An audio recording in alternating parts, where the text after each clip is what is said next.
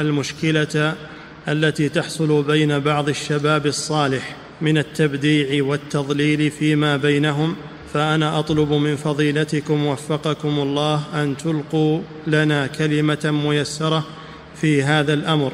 وهل الجماعات الموجودة كلها مبتدعة؟ يا إخواني يجب علينا أن نترك هذه الأشياء ونقبل على طلب العلم. هؤلاء إنما وقعوا فيما وقعوا فيه بسبب الجهل وبسبب الهوى.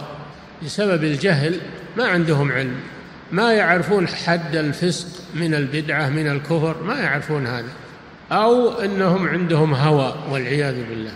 وهذا أشد. أما الإنسان العالم الم... الذي ليس فيه هوى فهو لا يدخل في هذه الأمور. لا يدخل في هذه الأمور.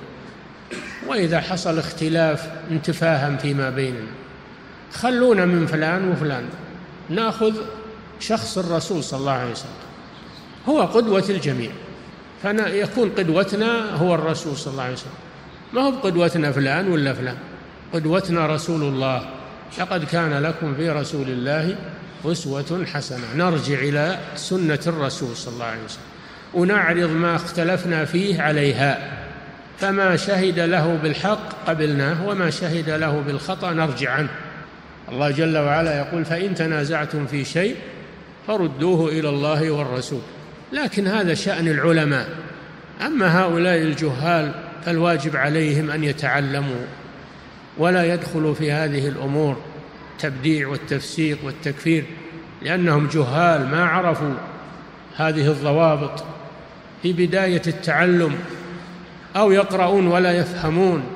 فيتركون هذه الأمور ويقبلون على طلب العلم. حتى يعرفوا من هو المبتدع ومن هو الفاسق ومن هو الكافر عن علم وعن معرفة. نعم. وكيف كيف يحلون النزاع بينهم ويسوون الاختلاف بينهم؟ ما يكون هذا إلا بعد العلم أو الرجوع إلى أهل العلم. نعم.